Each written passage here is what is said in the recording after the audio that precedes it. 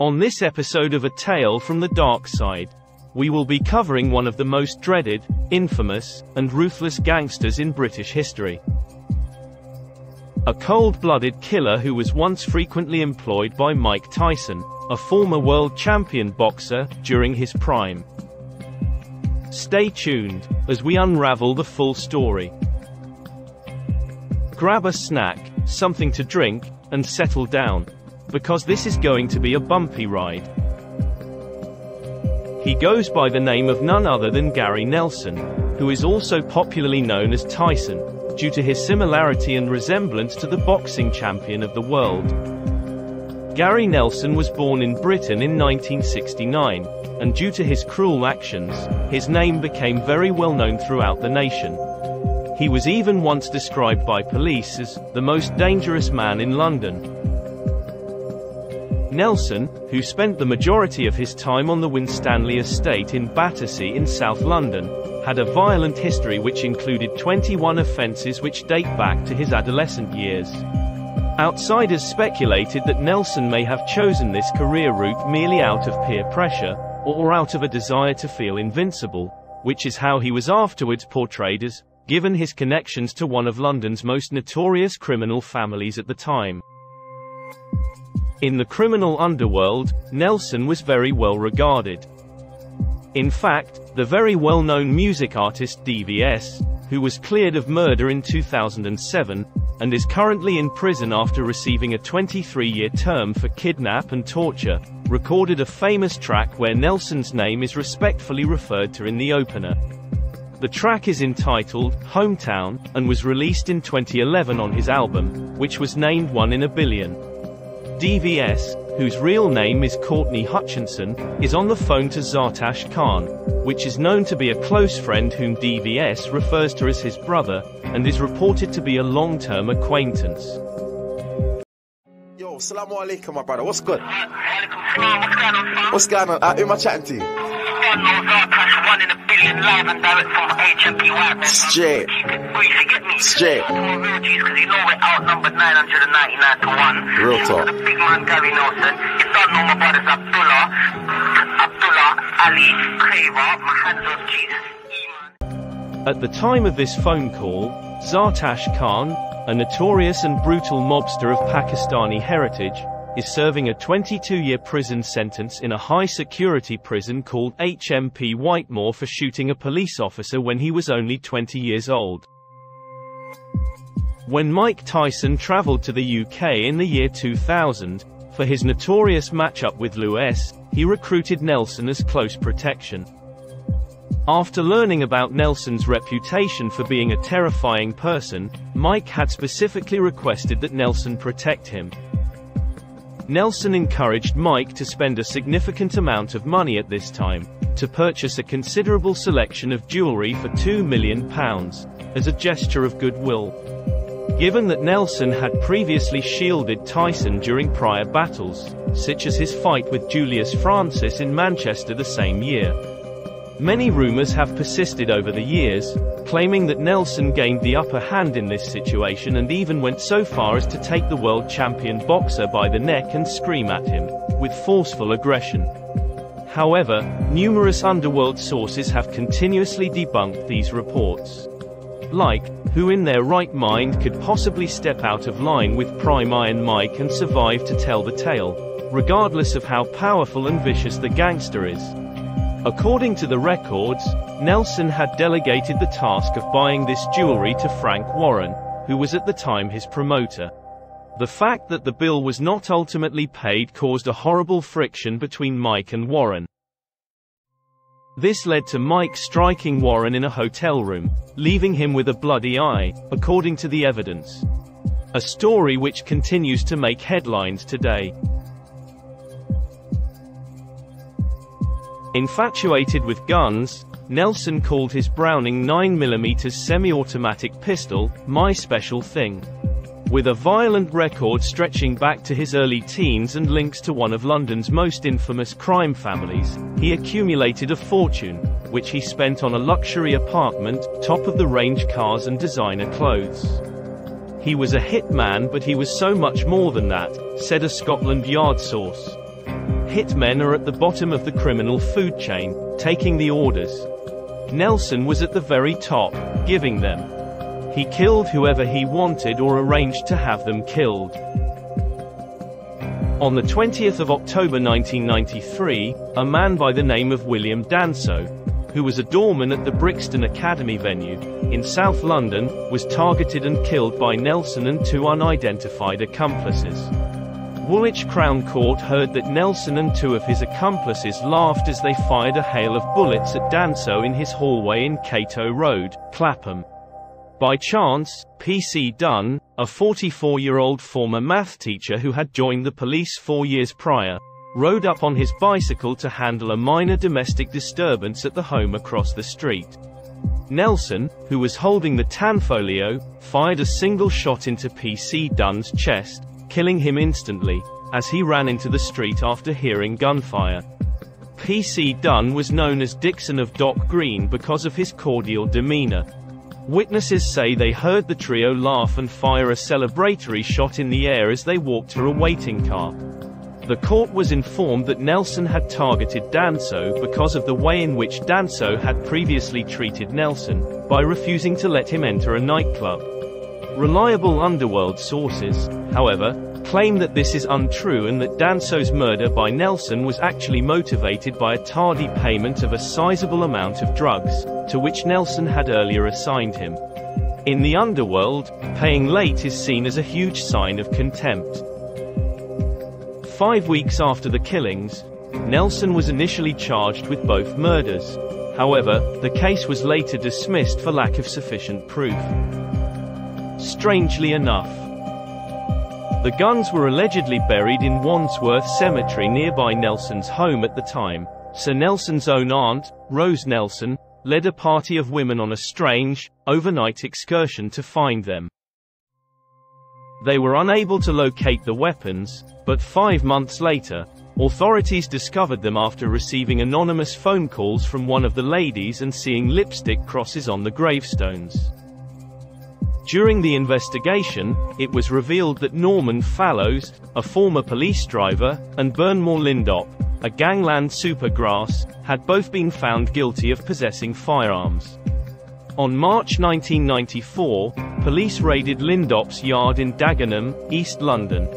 Later, at the Old Bailey, Lindop and his companion, retired police driver Norman Fallows, admitted to having 10 illicit guns. However, court records state that the pair were found in possession of far more. Although Fallows, 51, had 44 boxes of ammunition, telescopic sights, silencers, and assault weapons, he was only given a 15-month prison term despite fearing a lengthy sentence. According to the papers, he also led investigators to three Smith & Wesson revolvers and a semi-automatic pistol that were hidden in a stream in East London's Hainault Country Park. Lindop, then 46, had a loaded handgun in his pocket when he was arrested. Three revolvers, three shotguns, three pistols, 11 assault rifles, and 3,451 rounds of ammo were also present at his residence. Additionally, he possessed body armor, silencers, and telescopic sights, all preferred equipment of a hitman in his prime. However, upon jailing Lindop and Fallows, after being briefed by police, Judge Neil Denison said neither of the men intended to supply criminals. According to documents obtained from a source, top officials at Scotland Yard gave Lindop, a former doorman and convicted armed robber, permission to take part in police sting operations against narcotics groups within London and Liverpool. A third man, Sidney Wink, a former police dog handler's three-bedroom home in Ilford, East London, was raided by the flying squad in July 1994, four months after Lindop was taken into custody. When police arrived at the scene at 5.30 am, his tea was still steaming, but Wink was nowhere to be seen. A few days later, right before he was to be questioned, he shot himself in the head in an alleyway. According to police, Wink was a part of a scheme in which illicit firearms were rendered inoperable, then officially registered, before Lindop, via a third person, reactivated them and sold them on the black market. His house was full of deactivated, reactivated firearms. It was an arsenal, said a senior former flying squad detective. Wink, who was 66 years old, had been selling firearms for 18 years, since he left the Met in 1975 after 25 years of service. In 1994, a police spokesman refuted claims that he had provided the weapons used to assassinate PC Dunne. Yet, according to five sources, including three former police officers, the Mirror has received confirmation that he was involved. One claimed that due to particular markings left by a tool Wink used to erase serial numbers, it was recognized that he had altered the Tanfoglio which was used in murder and recovered. The source said, there was a mechanical fit between a punch recovered from Wink's workshop and the gun. At least 270 firearms were said to have been reactivated by Wink, 150 of which ended up in the hands of criminals. He had left a suicide note for his wife, which stated, I am very sorry for what I have done. Eight years later, at the age of 55, Lindop was assassinated outside his home in Goodmayes, East London. As he exited his black M Reg Range Rover Discovery, he was shot four times, including in the head and jaw. A case which still hasn't been solved until this day. I'm quite confident you can all read between the lines. Despite everything which took place, there was still not enough evidence to charge Nelson, who was soon back in jail for a road rage incident in 1994. Nelson received an eight-year sentence for a shooting. He had become irate after a van driver attempted to pass him on a South London street. When the argument over the road rage escalated, Nelson got out of his car and fired five shots at the van, striking the bonnet and radiator in the process. According to underworld sources, even from his prison cell, Nelson continued to strike dread into the hearts of everyone he knew. Nelson rushed nude from his cell and lunged at guards with a broom handle 10 days after beginning his sentence at Belmarsh High Security Prison in southeast London. Nelson allegedly once managed to escape from a straitjacket and frightened some of the nation's most notorious criminals into giving him phone credits so he could call his numerous lovers. Nelson was quickly back in the criminal underworld of South London after being released from prison in 1999. After a month-long surveillance operation, conducted in February 2003 which was not linked to Cato Road, Nelson was followed to the United States, where he bought a laser device for a 9mm Browning semi-automatic. In January 2004, Nelson was sentenced to life in prison for possessing firearms, when officers burst in and discovered a Browning 9mm complete with laser sight, a silencer and ammunition for a second weapon. Soon after, things started to slowly unravel. A former co-detainee in Wormwood Scrubs who claimed that Nelson told him in 1994, I shot the copper, the one on the bike, was brought forward as a result of a BBC Crime Watch appeal, after the Cato Road case was first reviewed in 2001, in part as a result of pressure from the Dunne family. Sandra Francis, the lady who called the police about the guns due to her Christian faith, was also located and willing to testify. Even further, investigators traveled all the way to Ghana in order to track down Eugene Jarber, the manager of a store where Danso had previously worked. In 1996, Jarber jumped bail and fled. He was later found guilty of a £3 million cigarette fraud when he was not present. In a highly unprecedented move, he testified via video link with regards to witnessing Nelson withdraw a revolver from his jacket the day before the killings and threatened to put a bullet in the belly of another man. He later identified the gun as the Tanfoglio. Nelson was never identified during an identity parade and there was no conclusive forensic evidence. However, the prosecutor, Richard Horwell QC, based his case on 13 planks of circumstantial evidence, according to which Nelson was on Cato Road and the Tanfoglio was in his possession. DCI Richardson described Nelson's attitude during police interviews as nonchalant, But as Mr. Horwell told the jury, arrogance and notions of invincibility sometimes go before a fall. It looks like the mystery finally came to an end. On February the 17th in 2006, Gary Lloyd Nelson, who was 36 at the time, was convicted of two charges of murder and handed two concurrent life sentences with the suggestion that he must serve at least 35 years, which he is still currently serving. Deborah, the widow of Mr. Danso, and Giftee, his sister, sobbed when Nelson was found guilty by the jury. Detective Chief Inspector Richardson said, the murders of William Danso and Patrick Dunne were cold-blooded executions carried out by extremely dangerous men, for virtually no reason. Five children have had to grow up without their father because arrogant men felt he had not shown him enough respect. Clapham lost a dedicated community officer and PC Dunne's family lost a son and brother, because courageously he went to investigate on hearing gunfire.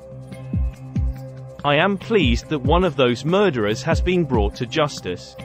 The family of PC Dunne said they were ecstatic. The callous moral coward who killed him has been jailed for life. I'm absolutely ecstatic. We have been waiting 12 and a half years.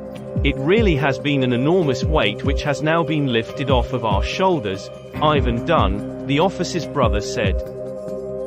Unlike his brother, Steve, who had forgiven Nelson for the killing, Ivan said he would hate him forever.